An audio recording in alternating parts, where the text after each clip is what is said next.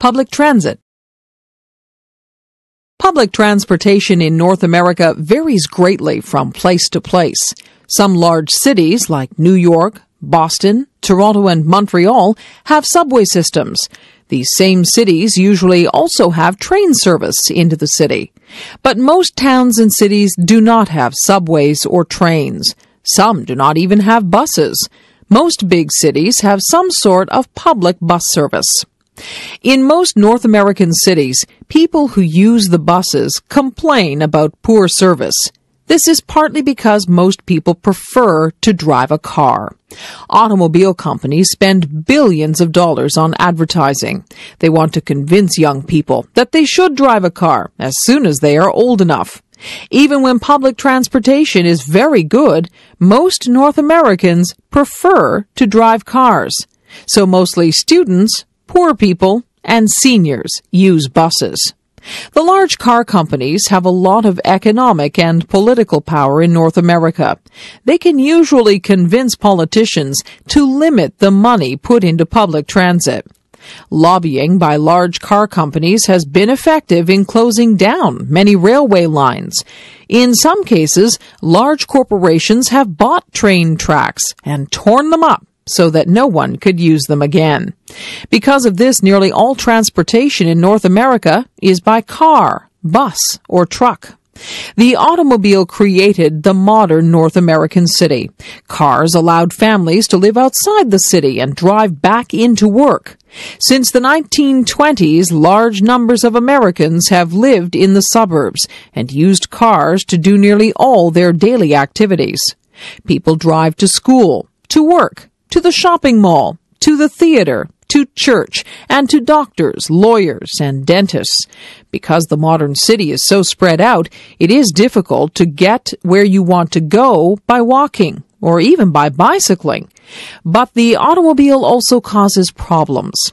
Car accidents are a major cause of death and injury.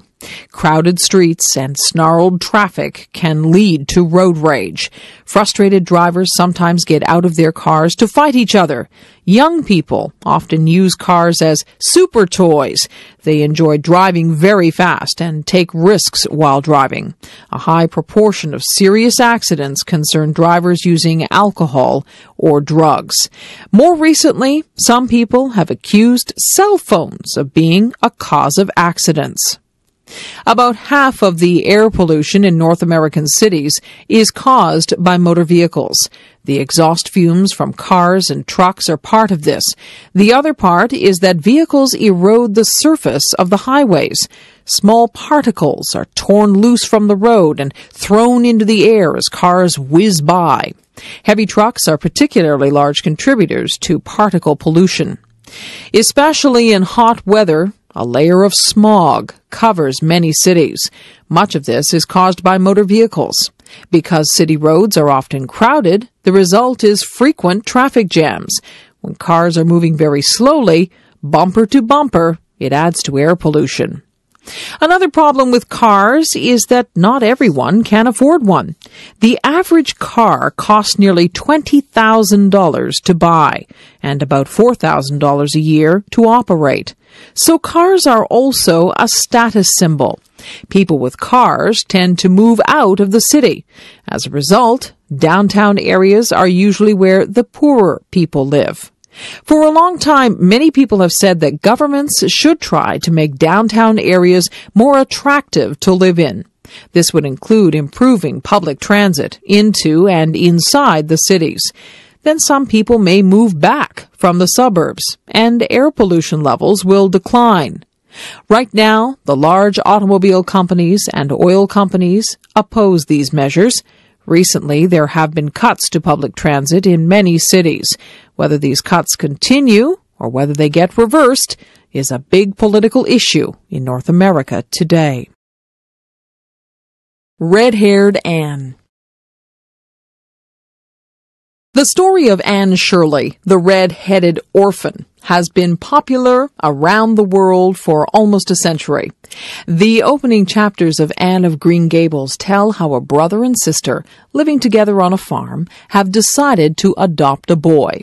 Matthew Cuthbert is now 60 years old and needs help working the farm. They have sent away to the orphanage, and the boy will be arriving by train.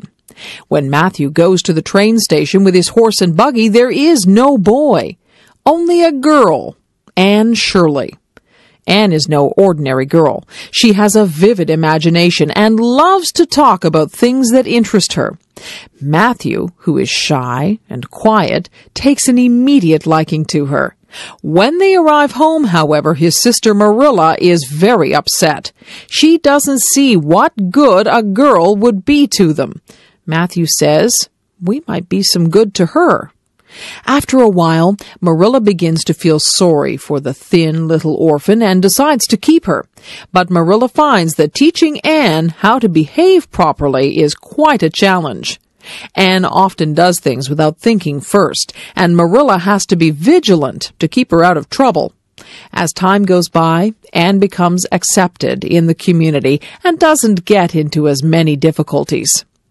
One characteristic of the little orphan is a love of big words.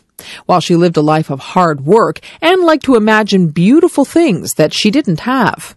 This was her way of dealing with unhappiness when she worked as a servant for unkind people. Living at Green Gables makes her happy, but she doesn't lose her love of special words or beautiful things. Anne is also unhappy because she has red hair and freckles. In Anne's day, beautiful women were thought to have light, clear complexions and black hair. Her coloring seemed unromantic. However, red hair and freckles are very common on Prince Edward Island, where many of the people are of Scottish descent. This story tells us a lot about how to be happy.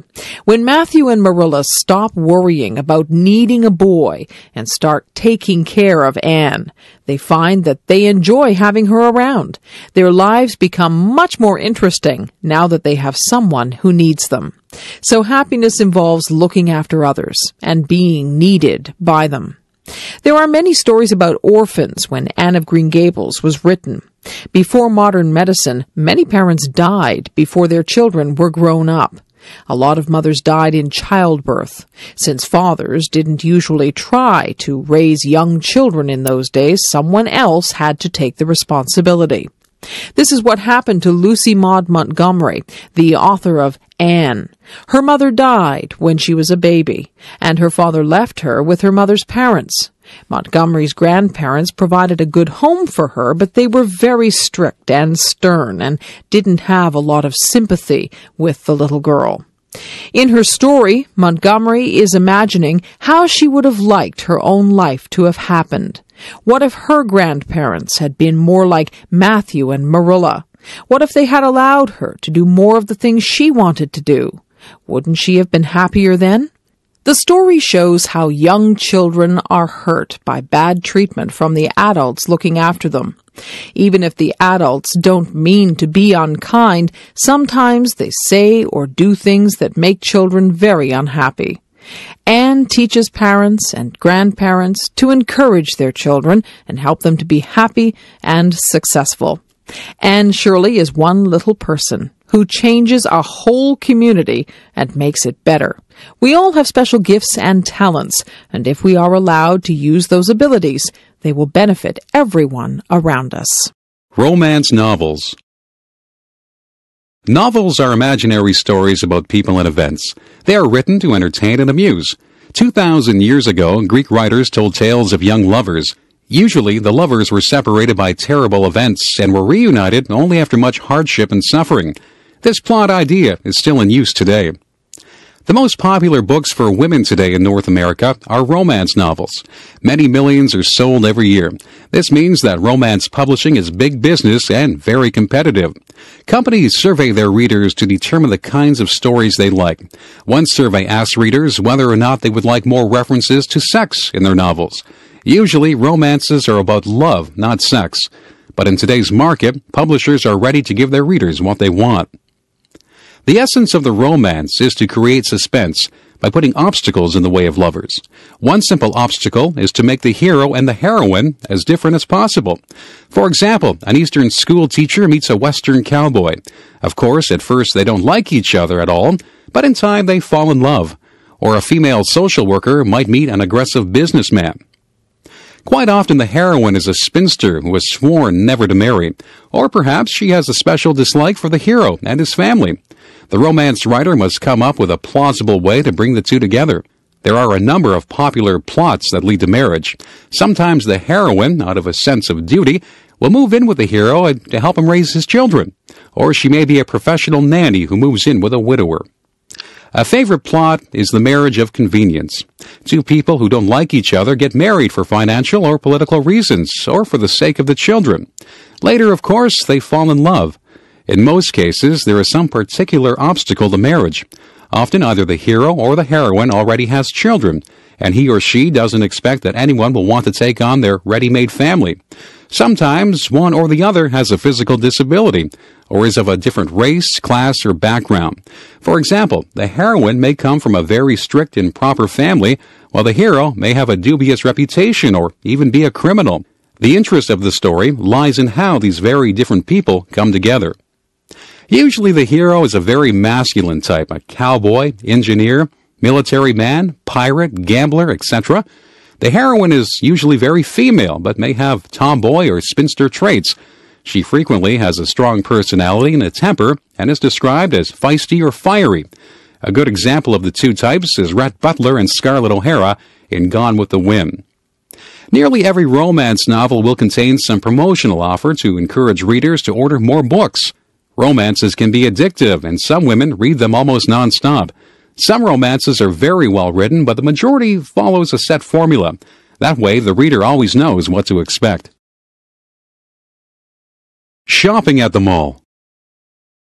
At one time in North America, most people shopped downtown on Main Street. Most businesses were at the center of town. When people started using automobiles, however, they moved away from downtown. In time, most people lived in the suburbs. Eventually, stores and small shopping plazas were built in suburban areas. Still, most of the big stores were downtown. But as more and more cars were on the roads, driving and parking downtown became a problem. There wasn't room for a lot of cars to park downtown. People also didn't want to fight downtown traffic just to go shopping. So in the 1950s and 1960s, there was the beginning of large suburban shopping malls and plazas. Plazas were a row of stores attached to one another. Malls were usually a double row of stores with a roof connecting both rows. This means that shoppers did all their shopping inside. Large department stores and grocery stores were usually part of the mall, but there were many smaller stores as well. When you came to the mall and went inside, many people would get a shopping cart. You can walk along the aisles, putting your purchases in the cart. When you're finished shopping, you can push your shopping buggy out to the car. Many malls also have buggies or strollers for pushing small children along. There can be a lot of walking in a trip to the mall. In fact, some people go to the mall just to exercise. A half dozen laps around the mall every morning amount to a pretty good workout. However, there are always places to sit down when you get tired. Most malls have a food court. This is an open area with a lot of tables and chairs. Usually there are a dozen or more small restaurants circled around the food court. The department stores often have full-size restaurants. Malls have large parking lots. Unlike downtown, you don't pay to park at the mall. On a busy day, finding a space close to the store can be a challenge. Many people go to the malls when the weather is bad. During wintry weather, the malls are busy. Likewise, in really hot summer weather, people go to the malls to get cool. The climate there is always the same. People don't go to malls just to shop. They also go to meet people. Usually, you bump into friends and neighbors there. Old people, as well as teenagers, go there to see friends. Usually, the malls sponsor special events. With lots to see and do, malls are a popular place to hang out. Stephen Foster, American songwriter. Before radio and television, movies and recordings, entertainment was often a family or community matter. Someone in the family could play a musical instrument, or a neighborhood musician would play for small gatherings. In addition, there would be traveling groups of musicians, actors, and clowns who would go from town to town. In 19th century United States, one of the most popular forms of entertainment was the minstrel show. Black slavery was still permitted in the southern states until 1865. Even after that date, the lives of many blacks working on large farms or plantations did not change much. They did hard physical labor in the fields, had little control over their lives, and very little time to relax with their friends. Foster, who was born in 1826, made this situation the background for many of his songs. White musicians would try to imagine the feelings of black men and women working on the plantations. They would write songs in the dialect or speech patterns that they thought black slaves used. In these songs, the black people would be talking about their hardships, falling in love, playing music and dancing, and finally growing old and dying.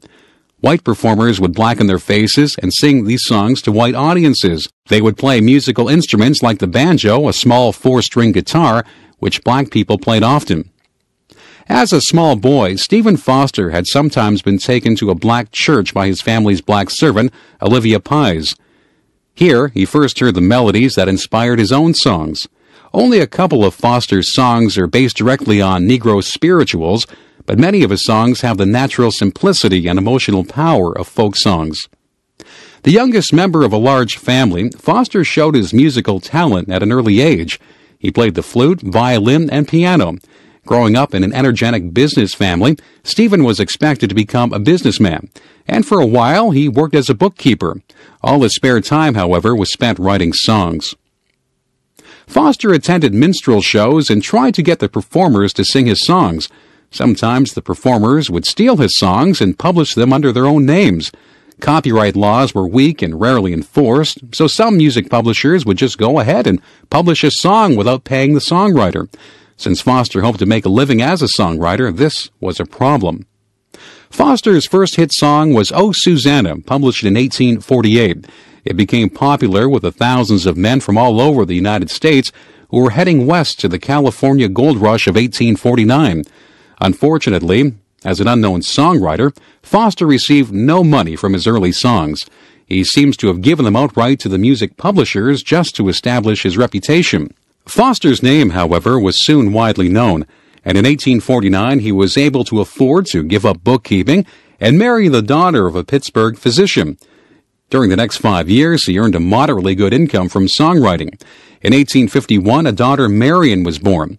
Foster wrote many of his best known songs at this time Old Folks at Home in 1851, My Old Kentucky Home in 1853, and Jeannie with the Light Brown Hair in 1854. Difficulties in Foster's marriage began fairly soon. These may have been partly due to his strange work habits.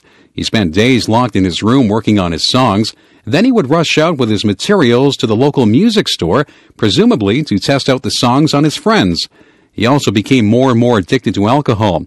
Eventually, his wife and daughter left him. Foster died alone in a rooming house in 1864. Immigrants to the United States brought their traditional folk songs with them, However, there are very few typically American songs. Foster provided many songs that expressed the life of 19th century USA. His songs were easy to sing and were popular with nearly everyone. In a sense, Foster helped to create roots for American popular music. Sunday morning at church. Every Sunday is a holiday or half holiday in North America. Some stores may be open, but banks, offices, and government services are usually closed. Sunday closing has a Christian origin. Christians believe that Jesus Christ rose from the dead on a Sunday morning, so Sunday is known as the Lord's Day. About 30 or 35 percent of North Americans attend church regularly on Sunday mornings. About the same percentage attend church occasionally. At Christmas and Easter, the churches are very full as people celebrate these two important holy days. Nearly everybody goes to church at least three times. They are baptized or dedicated as a child. Most people are married in a church, and many people are buried after a church service. Church services are usually held Sunday mornings, often at 11 o'clock a.m., although there may also be evening services provided. Most services last an hour. Their purpose is to worship God and to help people focus on religious and moral beliefs. The service is led by a pastor, minister, or priest who usually also looks after the people and the business of the church. It is the pastor who delivers the sermon, a 20 minute talk on a religious or moral matter. Usually members take part in the service. They may lead the singing, read from the Bible, offer prayers for the congregation, take up the collection, or act as ushers. Most churches also have a choir, a group of singers who lead in singing the hymns. There are many cultural traditions connected to going to church. People normally wear their best clothing and try to be on their best behavior. Talking or making noise in church is usually considered bad. This is why children often have a separate children's church or Sunday school where they can be more like children. The Sunday service is the main weekly event at many churches. But nowadays, there are a growing number of large super churches which organize all kinds of activities for their members. These churches usually have large buildings and a large staff to plan and lead various activities. These might include prayer group, counseling and social work, youth programs, social action, fundraising events, etc. Many large churches have gymnasiums for regular sports activities. At the same time, house churches are also becoming very popular. These are small groups of people who meet at private homes. Sometimes a group will meet in a house until they have the money to buy a church. But many people say they prefer to meet in small groups. That way they get to know one another better. Then they feel comfortable sharing their problems and successes and praying for each other. Some say that large churches can interfere with getting close to God and other Christians. There are many different brands of Christianity. The largest single denomination in North America is Roman Catholicism. One large Christian brands are Episcopalian, Methodist, Baptist, Pentecostal, Lutheran, and Presbyterian. All have slightly different traditions and beliefs. Although in the past these groups have often been in conflict with one another, today they usually cooperate in working together for their members and the community. North America's rainforest. When people think of rainforests, they usually think of the tropical jungle, but heavy rain can also produce dense forests in temperate areas. Along the northwest coast of North America, there are some of the largest trees in the world. This forest runs along the Pacific coast from Alaska down to northern California. About half of it is in British Columbia, Canada. Several species of trees grow to an immense size. Some grow up to 95 meters, 312 feet high, and 12 meters, 40 feet in circumference. They may be as much as 1,000 years old. Because the trees are so tall, the forest has various levels of growth.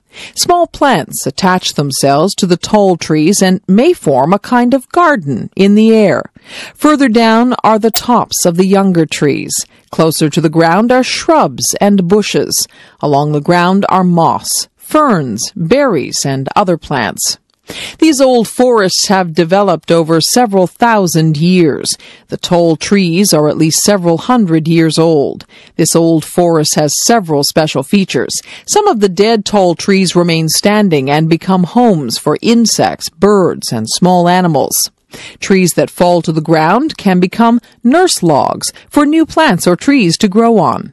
Trees that fall across rivers and streams can provide natural dams, which provide quiet water for animals to live in. In recent years, it has become common for logging companies to clear cut this old forest. To clear cut a forest means to go into a section of forest with heavy machinery and cut down every tree. Sometimes these clear cuts are as large as some European countries.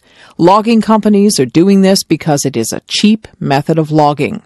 The problem is that when an old forest is cut, it does not grow back again. Even with replanting, companies produce a tree farm, not an old forest. The complexity of an old forest, which grew over thousands of years, is lost forever. The old forest can shelter many kinds of birds, mammals, fish, and plants that a replanted forest cannot. Another issue is that companies are cutting more and more old forests because they haven't done enough replanting. As long as governments have been willing to let companies cut old forests, neither logging companies nor governments have been much motivated to replant the forests. As a result, most of the old forest has been cut down and continues to be cut at a rapid rate. This situation has also worsened because new technology allows more rapid logging. Clear-cut logging results in erosion, which in turn damages the quality of rivers and streams. This causes a decline in the salmon fishery. Animals like grizzly bears, elk, and deer are harmed by the loss of habitat. Likewise, birds that nest in the old forest, such as bald eagles, owls, woodpeckers, and various seabirds, are being threatened. Recently, public interest in the old rainforests has resulted in an increase in tourism. People come to see these spectacular trees and the many plants and animals that depend on them. We hope that these unique temperate rainforests will remain for many more generations to enjoy. Peggy's Cove, Nova Scotia. Why do people travel hundreds of miles to look at beautiful scenery?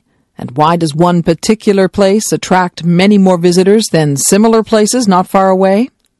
Peggy's Cove in Nova Scotia, Canada is one of those special spots that draws people from all over the world. It is hard to explain its special charm, but anyone who has been there will know what I am talking about. The southern eastern shore of Nova Scotia possesses many picturesque fishing villages and many beautiful seascapes, but one doesn't have to go very far from the capital city of Halifax to see this special spot. There are no trees around Peggy's Cove. The dominant feature are huge, round granite rocks, many of them the size of houses. They seem to be pushing up and out of the land and sea. Nestled inside the circle of these rocks is a group of fishing huts. Now and then a fishing boat leaves by the little bay or cove in order to travel out into the great Atlantic Ocean. For nearly 200 years, there have been fishermen at Peggy's Cove. All around the little harbor, there are huts or fish stores where the fishermen do their work. Here they bring in the fish and clean them, wash them, and salt them. The salted fish are then stored in barrels. Nowadays, however, more fish are sold fresh than salted. Visiting as a tourist, I wandered into one of these little huts while the fisherman was busy at his work. He explained to me that although Peggy's Cove is a tourist destination, it is also a working fishing village. The fishermen get no money from the tourists, but have to take the time to talk to them and explain their work. There are, however, some tourist shops and tea rooms in the vicinity. Part of the charm of Peggy's Cove is that it is so small. The population has been well under 100 people for most of its history. The buildings are mostly small dwellings, with the lighthouse being the most prominent structure. A good variety of fish are caught in the area, including mackerel, herring, haddock, cod, and halibut. Lobsters are also trapped nearby. However, because of overfishing, catches have declined in recent decades. The plants and animals of the area are also of interest. Showy purple lupins grow close to the ocean. They thrive on salty ground, and the closer they grow to the spray of the ocean, the better. One of the world's few carnivorous plants, the common pitcher plant, also grows around Peggy's Cove. Its leaves trap insects, which are digested to nourish the plant. Common birds are the stately blue heron, which likes to fish in the marshy pools. The heron stands several feet high and spear fish and frogs with its sharp beak. Another bird is the osprey, or fish hawk. The osprey's keen eyes can spot a fish moving beneath the surface of the water. It can dive swiftly, hitting the water with great speed, catch the fish in its claws, and then fly away with its catch. I have also seen pools close to the ocean full of large tadpoles. These tadpoles spend several years in the water before they develop into bullfrogs. Bullfrogs, the largest Canadian frog, have been known to eat baby ducks and small fish. Looking over the little harbor and out toward the great ocean, one notices the contrast between the very small and the very large. If Peggy's Cove were larger, it would be more ordinary. As it is, it represents all the little fishing villages where men have gone forth in little boats to fish on the wide ocean. Prince Edward Island Throughout history, people have dreamed about a special place, remote from the day-to-day business world. Sometimes they have thought of this place as an enchanted world where the weather is always good and the food is always easy to get. Sometimes it has been a hidden valley in the mountains or an island far out to sea. When the Europeans arrived in the South Pacific, they thought that they had found it. Islands such as Tahiti seemed about as perfect as possible. Nowadays, our cities grow larger and larger, and people have to work harder and harder to succeed. Many people would like to escape to a quieter, slower, more peaceful, more attractive environment. When summer holidays come, many people travel to Prince Edward Island in eastern Canada. It has a mild summer climate and hardly ever gets too hot or dry. The fields, trees, and crops stay green all summer. In fact, PEI is famous for the many shades of green on the island. Its soil and dirt roads are red because of iron oxide in the soil, and visitors are never far away from the blue waters of the Gulf of St. Lawrence. In late June and early July, the roadsides are covered with large purple flowers called lupins. The vivid colors of PEI help make the province a photographer's paradise. Prince Edward Island is almost 100 miles long and about 20 miles wide. It is small enough that a tourist can see much of the island in a couple of days, but there are enough interesting things to see and do that most people like to stay longer. One of the chief traditional occupations is fishing. At one time, fishing was an important source of food and income for many islanders. Now the fisheries are in decline. Boat owners find it more profitable to take tourists out to fish than to fish themselves. Lobsters and shellfish are still important to the island, which is famous for its lobster suppers. Tourists can visit many picturesque little fishing villages all around the coastline. Farming is also important. PEI is famous for its potatoes, which are exported all over the world. Dairy farming is also common, and local ice cream is popular with tourists. Apple orchards, grain fields, hay fields, and vegetable gardening are also widely found.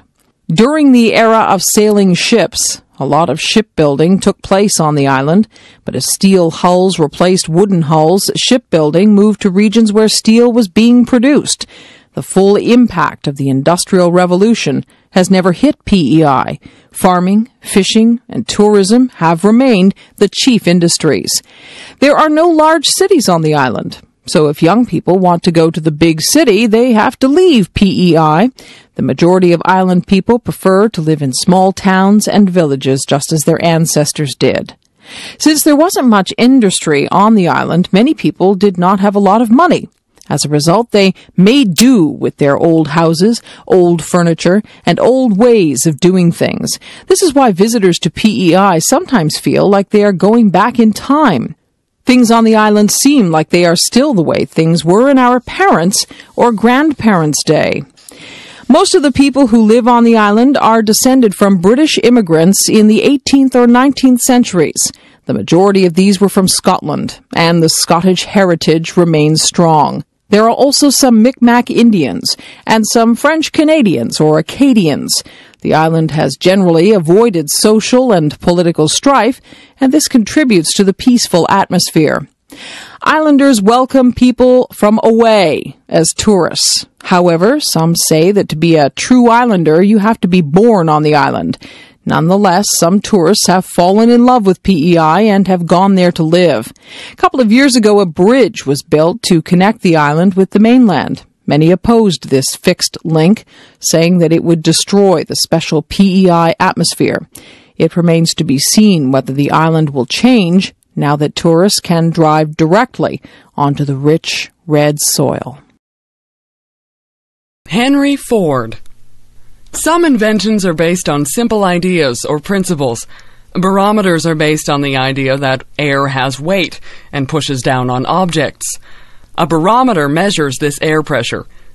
Evangelista Torricelli invented barometers in Italy in 1643. Other inventions have taken longer to develop. The automobile has thousands of parts, and it took a long time to make a really useful car. Henry Ford was one of the first people to make a reliable automobile. In 1765, James Watt invented the steam engine. Within a few years, a Frenchman, Nicolas Cugnot, had built a steam-powered vehicle. These steam carriages were used in England in the 1800s, but they were big and slow. They looked like a train without the tracks. Most people preferred to travel by train. In Germany during the 1870s and 1880s, Nikolaus Otto and Gottlieb Daimler developed the internal combustion engine. This ran by burning gasoline. Another German, Karl Benz, built a gasoline powered car. Around the world, there were many inventors trying to build a car that would be better than the one before. Some people thought that electric cars would become common. In the 1890s, several inventors working in the United States developed a gasoline powered car that was practical for daily use. Henry Ford was born on a farm in Michigan in 1863. As a boy, he loved to take clocks and watches apart and reassemble them. Eventually, he went to work for the Detroit Edison Company. In his spare time, he worked on a horseless carriage, as the early cars were called. In 1896, he completed a car that ran smoothly. He later sold it and made another one. Since early cars were made by hand, they were usually quite expensive. Not only that, but when they broke down, there were no repair shops to take them to. One had to know how to repair a car oneself. Henry Ford tried to make cars which would be affordable and which would not break down very easily. His Ford Motor Company was formed in 1903 in Detroit, Michigan. Since many parts had to be brought together to make a car, Ford developed the assembly line. On the line, each worker would do one specific job. When the car reached the end of the assembly line, it was finished. In this way, many cars could be made in a single day. The result was that Ford was able to bring the price of cars down. Ford's Model T car was advertised as being as frisky as a jackrabbit and more durable than a mule. Since it cost hundreds rather than thousands of dollars, many ordinary families were now able to buy a car. Once many people had cars, their habits began to change. People didn't have to live next to the factories or offices that they worked in. Going for Sunday drives or traveling to tourist sites became a common thing. In 1905, a car drove across the United States and back again. In 1912, a car went across Canada from coast to coast. Soon there was public pressure for good roads so that cars could travel anywhere in North America. Henry Ford was not the only inventor of the modern car. However, he was able to make a car that everyone could use and afford. It could be a whole lot better. As I was sitting in the reading room at the library, a man got up and left, commenting, It could be a whole lot better. I wasn't sure whether he was referring to the reading room, the world he was reading about, or something else. I replied without thinking, that's always true and always false. What I meant was that it was always possible to make little changes to improve things. But it isn't clear ahead of time that these changes will make a big overall improvement in a library, in the world, or in anything else. Years ago, literary critics used to examine great writers very closely to find bad phrasing or ungrammatical sentences. They'd look at a play by Shakespeare and identify lines that they didn't think were very good. Sometimes they would suggest that these lines were added by another writer, or that Shakespeare had written this part quickly without much consideration. Sometimes they would omit or improve on the lines. It is doubtful that any of Shakespeare's plays were actually improved by these critics. An entire play needs high points and low points, poetry and prose. The whole thing is greater than its individual parts, and changing a couple of these parts may not improve the whole thing. It is the same in many other areas music, athletics, scholarship, and probably everyday living. It's not always the singer or musician who is flawless that we admire most. Sometimes it is the person whose performance is not perfect, but who puts a special energy, feeling, or enthusiasm into their work that we admire. It is true that little things can sometimes add up to a big difference. Changing a bad habit can make a difference in your life and in the lives of the people around you. Giving up smoking, for example, or ceasing to criticize a family member can make an important difference. Sometimes, however, we are only looking at the symptoms of a larger problem. For example, nearly everyone would agree that giving up smoking is a good idea. But if our smoking is related to emotional problems or stress in our lives, then giving up smoking may make us feel even worse. It may be necessary to deal with the root problem.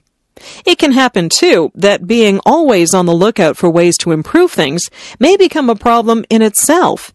Perfectionism means never being satisfied with things as they are. especially if we're always criticizing people around us for not being good enough. This can become a bad thing. A popular saying in North America is, if it ain't broke, don't fix it. This is a warning to people who feel that their role or position involves making continuous changes in policies, procedures, products, or personnel. Sometimes the drive for change can be more of a personality problem than a genuine concern to make things better. Real problems are often clearly apparent. Problems like world hunger, personality conflicts, policies that don't work, poor levels of service, bad manners, and all kinds of troubles are hard to ignore.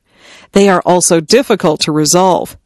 Perhaps that's one reason why some people identify things as problems which are of concern to hardly anyone except themselves. Yes, we can make the world and the reading room better, but we can also make them worse. It takes a lot of discernment and usually some experience to know how to make a particular thing better. There are so many things that could use improvement that it is difficult to know where to start. This too requires some thought, not to mention prayer and study.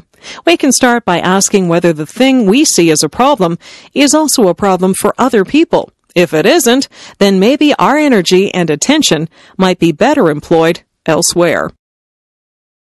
John Chapman, American Pioneer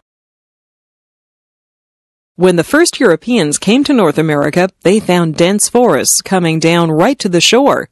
So thick were the forests that it was said that a squirrel could travel from the Atlantic Ocean to the Mississippi River without once touching the ground. Clearing these trees to make room for fields and buildings was a very difficult task for the early settlers.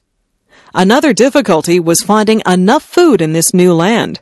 Many European crops could not grow in this climate. Carrying and storing seeds over a long period was also risky. Native Indians were often helpful in teaching the settlers how to find food, but sometimes there were no Indians nearby, or they were hostile. John Chapman is famous today because he helped the early settlers grow one important product apples. Apples could be eaten fresh in the fall or stored through the winter. They could be made into fresh apple juice or alcoholic cider. They could be dried or made into applesauce. Apples also could be made into vinegar, which is very useful for keeping vegetables from spoiling. John Chapman was born in Massachusetts in 1774, the year before the American Revolution began. John's father joined George Washington's army to fight for American independence from Great Britain. While the war was going on, John's mother died. In 1870, John's father married again, and soon John had lots of younger brothers and sisters. John probably worked on his father's farm as he was growing up. Then he worked on neighboring farms. It may be at this time that John began to learn about apples. After the Revolutionary War, the population of the USA was expanding. Many Americans wanted to go west over the mountains to find land in Indian territory. In the fall of 1797, young John Chapman headed west to Pennsylvania. On his way, he gathered leftover apple seeds from the cider mills that he passed. As usual, John walked barefoot, but as he traveled, snow began to fall. He tore strips off his coat and tied them around his feet. Then he made snowshoes out of tree branches. When he arrived in the West, he began to clear land and plant apple seeds. This began a pattern that would last Chapman's whole life. He would travel ahead of the settlers, clear land, and then sell his baby apple trees to the settlers when they arrived. When the area became too settled, Chapman would move further west and start again. Many settlers regarded John Chapman as a strange character. He never bought new clothes, but wore whatever old clothes came his way. But he was always welcome at a settler's cabin. John was good at clearing land, telling stories, and growing apples. He liked children, and children liked him. He was a religious man and would read to the settlers about God and living together peacefully. At this time, there was conflict between the settlers and Indians about land. John managed to be friendly with both groups, but John did warn the settlers if the Indians were planning to attack them. Every fall, John went east to gather more apple seeds. He would then go farther west and find some empty land to plant his seeds. During the warm weather, he tended all his fields of baby apple trees. Once they were properly grown, he sold the seedlings to settlers. When he had earned enough money, he bought land to grow more apple trees. In his own lifetime, he became known as Johnny Appleseed. Legends grew up about him. It was said that his bare feet could melt snow and that he could leap across rivers. Johnny Appleseed never built himself a real home. He was a wanderer all his life, traveling west to Indiana and Iowa and back east again. He enjoyed sleeping outdoors, lying on his back, looking up at the stars, and thinking about God and his world. He died in Indiana in 1845, and no one knows exactly where he's buried, but all through that region are hundreds of apple trees. These apple trees are the most fitting memorial to John Chapman, the legendary Johnny Appleseed. Las Vegas, Nevada. Nevada is a large state of deserts and mountains. Since most of the land is not suitable for farming, the population grew very slowly. In the 1950s, there were only 267,000 people in the entire state. Now, there are nearly a million people living in the Las Vegas area alone. Las Vegas has become a major tourist center. It used to be quite a little desert town of the Old West, but in the 1950s and 1960s, hotels and gambling casinos were opened. In order to bring tourists to town, these hotels hired well-known entertainers. Soon, Las Vegas became known as a major entertainment center. In order to promote the growth of Nevada, some activities were allowed which were against the law in other states. These included gambling and prostitution. It was also easier to get married in Nevada than in some other states. Over time, many other attractions were developed. Much of the activity in Las Vegas goes on at some 30 major hotels. Many of these hotels provide a complete range of services and entertainment.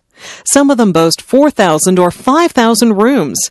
It is common for these large hotels to be organized around a particular theme, such as the Middle Ages, the Arabian Nights, the movies, the circus, Paris, Egypt, or the Far East.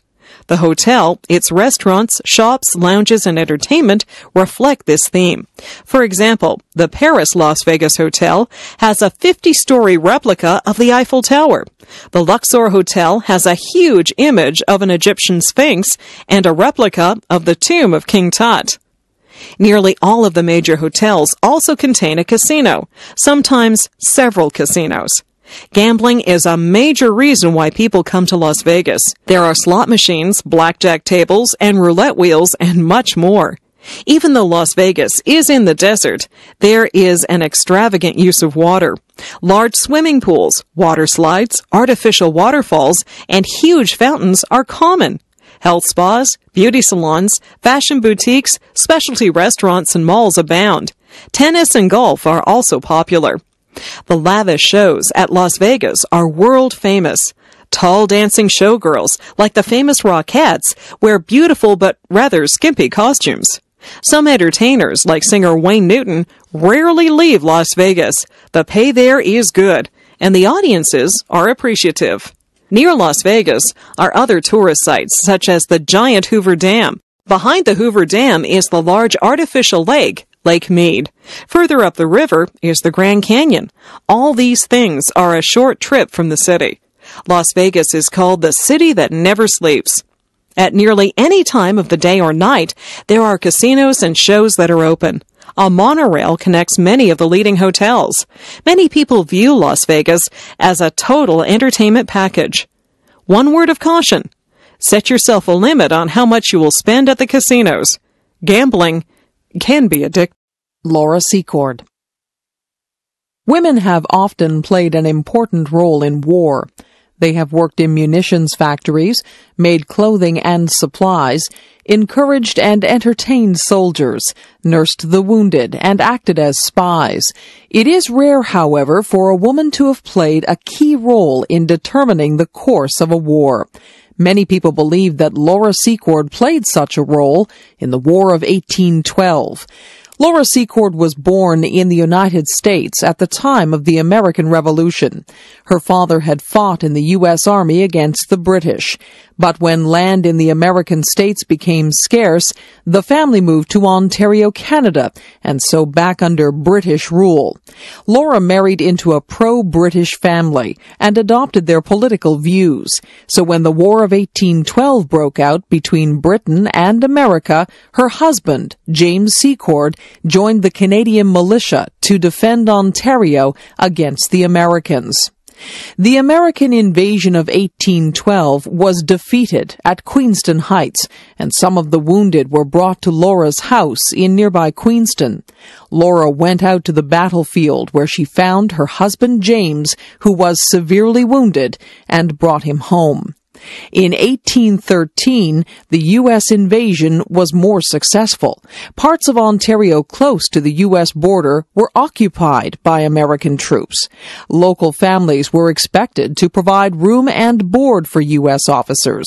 It was sometimes possible, therefore, for Canadians to overhear American officers discussing military strategy, either in their homes or in the local tavern. The situation in Ontario looked desperate. In the spring of 1813, the whole province seemed likely to fall into American hands. In June, Laura overheard talk of an American attack on the British outpost at Beaver Dams. Her husband was still suffering from war injuries, and she had to look after him and their children. Nevertheless, she resolved to go to warn the British commander. Possibly, Laura did not intend to walk the whole way herself. She hoped to be able to pass on the news to someone else along the way. First, she would have to make up a story to get past the American sentries. She left Queenston in early morning and walked 19 miles to the neighborhood of Beaver Dams by nightfall. She still had to cross a wide stream and climb up the Niagara escarpment. There she came upon an encampment of Indians who were assisting the British. Their war cries in the moonlight terrified her, but she insisted on being taken to the British commander. Finally, one of the chiefs escorted her to British headquarters, and she was able to tell Fitzgibbon the American plan of attack. When the Americans arrived in the neighborhood of Beaver Dams, the Indians had prepared an ambush for them. A running fight ensued between the American force of 570 soldiers and 450 Indians supporting the British. At this point, Fitzgibbon arrived with 50 British regulars. Seeing the Americans disorganized and surrounded by the Indians, Fitzgibbon boldly demanded their surrender by telling the American commander Boerstler that he was facing huge British and Indian forces, Fitzgibbon induced the American leader to turn over his whole army to the British. Although only small armies were involved at Beaver Dams, the battle had great significance. Afterwards, the Americans stayed behind their walls for the rest of the year. The U.S. government recalled their commander-in-chief.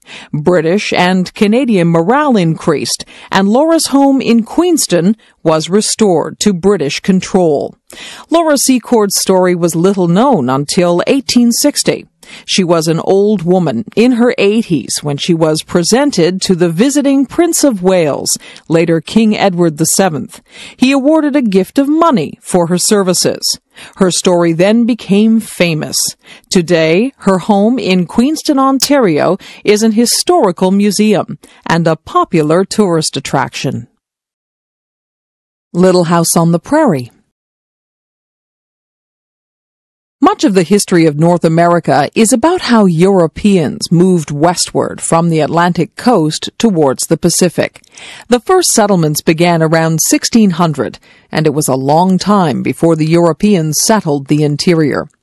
By the late 18th century, however, good farmland along the east coast was becoming scarce. As the population increased, people began thinking about all the native Indian lands further inland. Families were quite large in pioneer days, and the oldest son usually inherited the family farm. This meant that other sons and daughters would have to move away when their parents died. Often the sons would want to begin their own farm and start their own family. But if there was no farmland available, or if it was too expensive to buy, they were out of luck. One option was to move west, where land was free or very cheap. Sometimes the whole family might move if their old farm was no longer productive. Sometimes the old farm was on poor soil, or too much farming had exhausted the soil. Perhaps better land could be had further west. There were other reasons for moving west.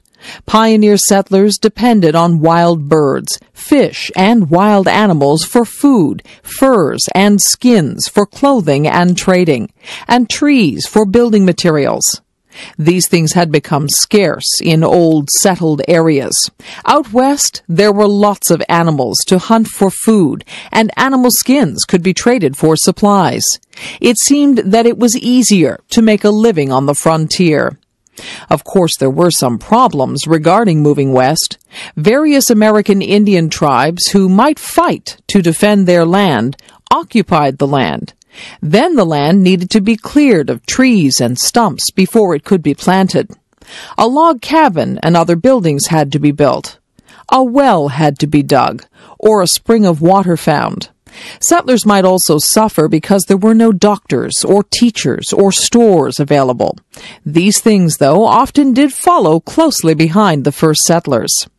A series of Little House books, written by Laura Ingalls Wilder, tells the story of her pioneer family. The Ingalls family moved many times while Laura was a little girl. She was born in Wisconsin in 1867.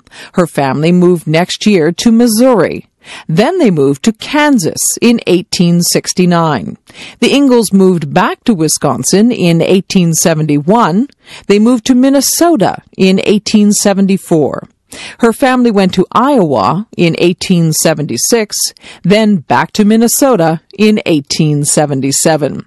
Finally, they moved to DeSmet, South Dakota in 1879, and there the family remained. All these moves were typical for a pioneer family, always on the lookout for better land and other opportunities.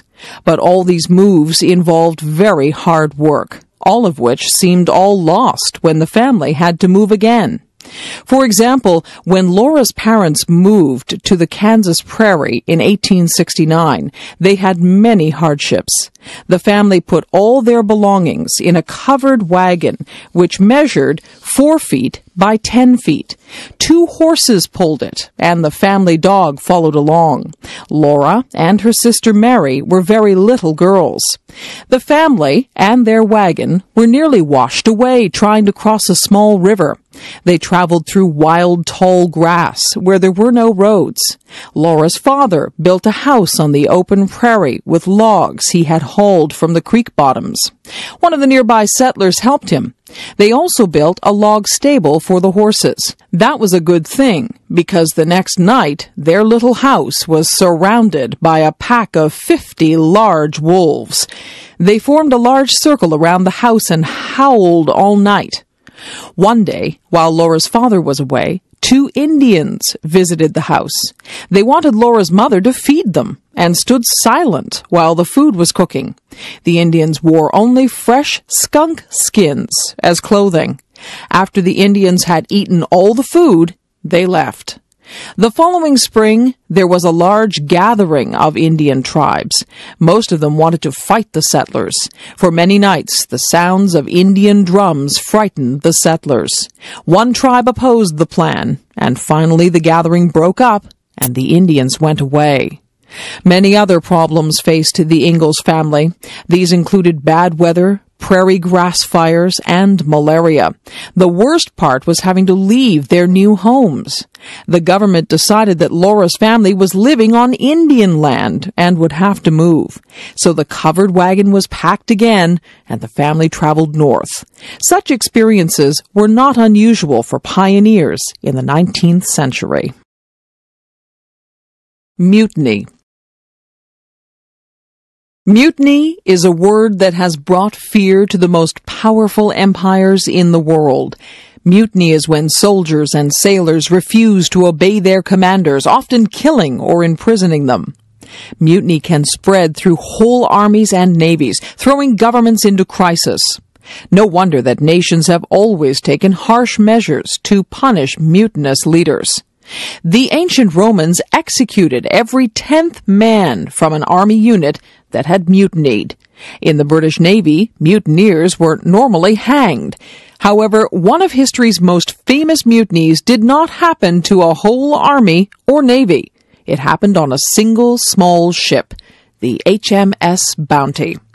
HMS Bounty set sail from England in December 1787. It was a small, cramped vessel, uncomfortable during a long voyage. Its goal was to sail to the South Pacific and bring back Tahitian breadfruit plants.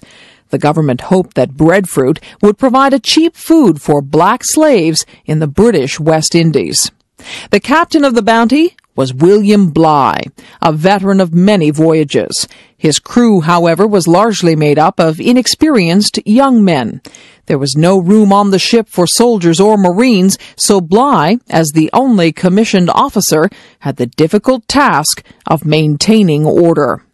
After a long and difficult trip, the Bounty finally arrived in Tahiti in October 1788.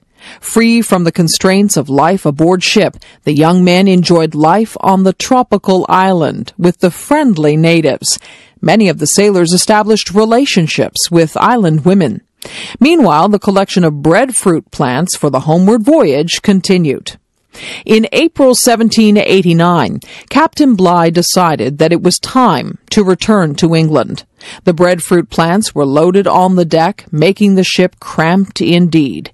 The Bounty set sail and would no doubt have reached England again, except for the turmoil in the mind of one of its young officers. Fletcher Christian was 24 years old, of dark complexion, and from a good family. As the Bounty pulled further from Tahiti, Fletcher seemed to have decided that he didn't want to return to England. Tahiti had been an earthly paradise, and now long months of discomfort aboard ship awaited him. He was too far from Tahiti to return by himself. He would need the bounty.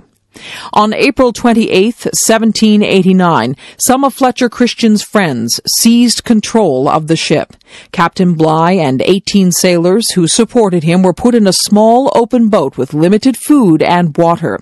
Meanwhile, Christian and his 24 followers sailed back to Tahiti. Eventually, Fletcher Christian would sail the Bounty to the uninhabited Pitcairn Islands, far to the south of the shipping lanes. Meanwhile, Bligh and his loyal followers sailed in their open boat almost the width of the Pacific Ocean. They suffered from thirst, hunger, and sickness, as well as hostile natives. Finally, they reached Timor in Indonesia in June and eventually made their way to the capital, Batavia.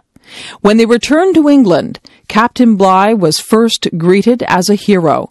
Soon, however, public attitudes changed. The legend began that Bligh was a cruel tyrant who had caused the mutiny by harsh treatment of his men. Although Bligh had a temper and was not very tactful, this does not appear to be the whole story. In fact, it is the controversy over who is to blame for the mutiny, Bligh or Christian, that has kept the story alive for more than 200 years.